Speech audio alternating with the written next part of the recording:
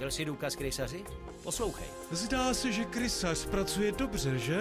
Dobře, ale z toho člověka, je-li to vůbec člověk, mi běhá mráz po zádech. Mně zase běhá mráz po zádech z těch peněz, co nás to bude stát. Nedá se nic dělat. Ale dá. Už jednou jsem vám říkal, že řešení je na snadě.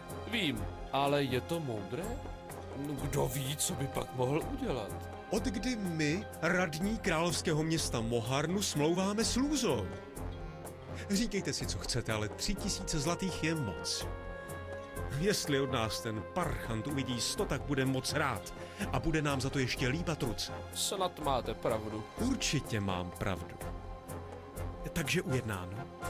Klidně to nechte na mě. Ujednáno. Tak a teď další taková věc. Už věříš? Věřím. Jsem zvyklý na nedůvěru a předsudky, ale tentokrát to už opravdu přehnal. Jdeme.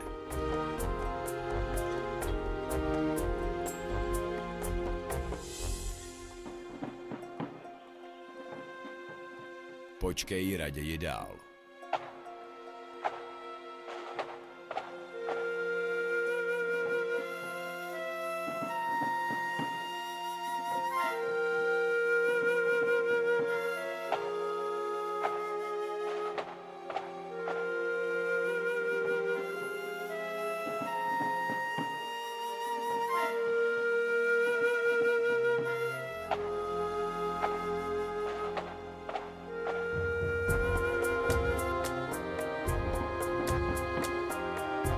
Kdy se proberou? Kolik mám času? Kdo ví, třeba už se neproberu. Krysaři. Tohle město bylo špinavější, než jsem myslel. S Bohem.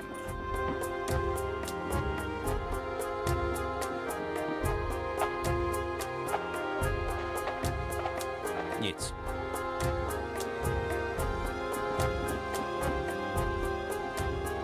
Krysař by byl opravdu nebezpečný protivník. Možná nejsou zcela mrtví a melodie nejspíš nezasáhla celou armádu. Ale i tak je Krysařova píšťala velice mocná. Nic. Tady s magií nic. Krysař by byl opravdu nebezpečný protivník. A melodie nejspíš...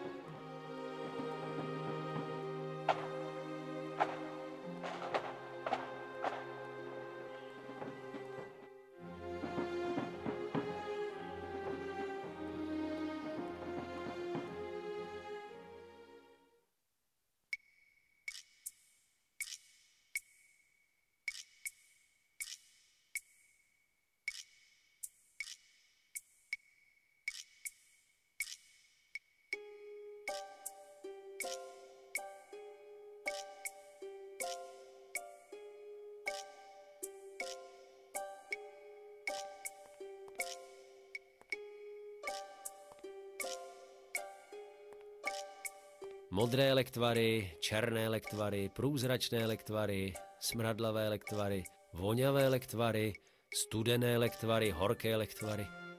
Lektvary, které tu nejsou, nejspíš vůbec neexistují. Mám to. Tady s.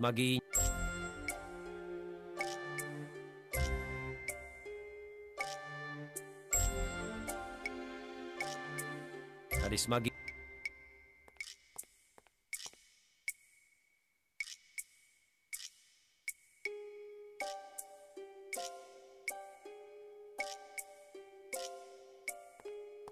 Primitivní mechanismus nadrcení krystalů.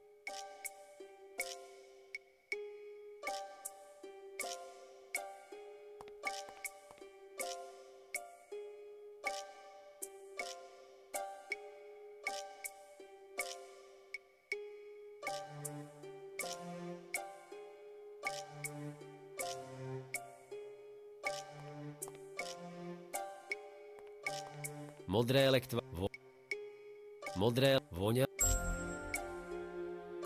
Tady smagí...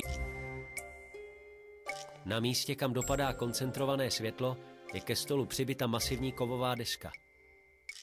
Systém polomagických čoček svádí dohromady světla různých charakterů. Obraz Branveriona, zakladatele Magické univerzity v Moharnu. Mám to snít.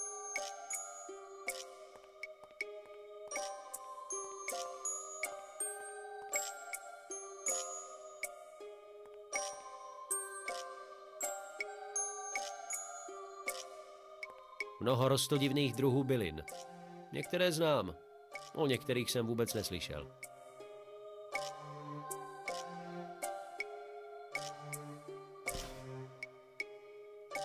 Nic. Mnoho roz... Nic. Systém polomagických čo... To je on, Krismor. Přístroj pro magické hledání lidí a předmětů. Ovšem zdá se, že mám problém. Proč mi jen profesor neřekl, že k obsluze Krismoru je třeba pět mágů?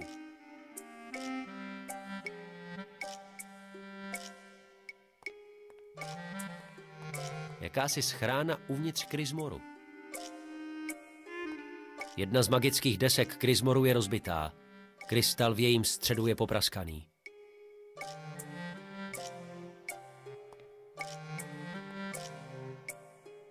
Sbírka různých neupravených magických krystalů.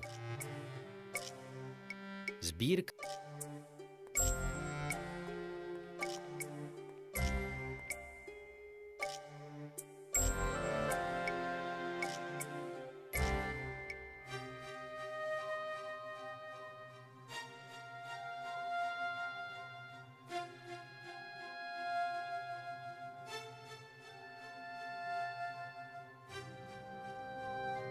Systém Výjevy z nejslavnějších magických bitev. Výjevy z...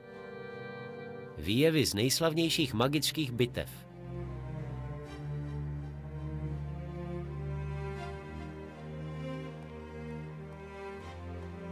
Magické hole.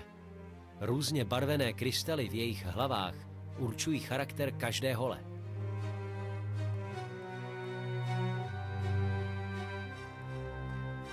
Úplná zbytečnost.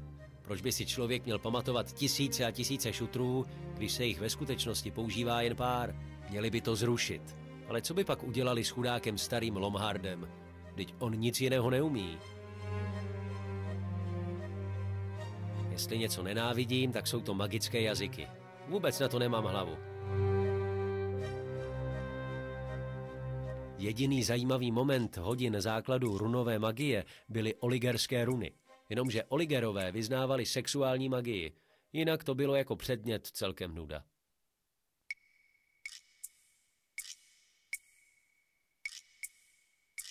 Jestli něco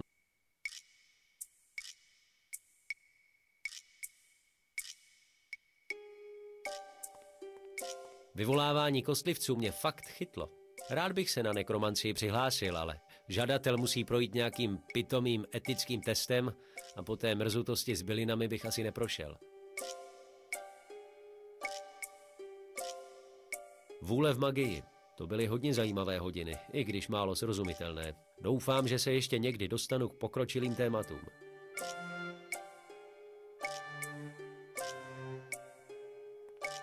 Naprostý základ pro každého mága. Kolik lidí už podcenilo předmět úvod do teorie živlů? A kde jsou teď? Naprostý základ pro ka-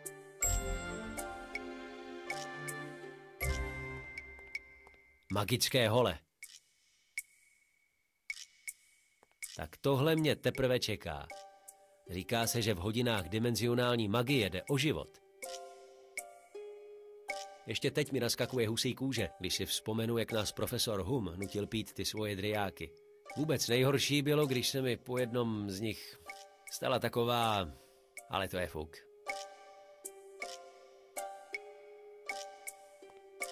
Zdá se to zajímavé, že? Ale takovou nudu v podání profesora Belse bych vám nepřál.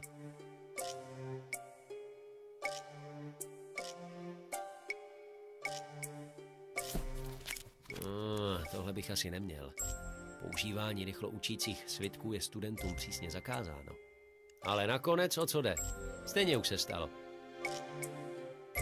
Už tam žádný svitek, který bych ještě mohl potřebovat, nevidím. Buď to už mám podobný, nebo nevím, co dělá.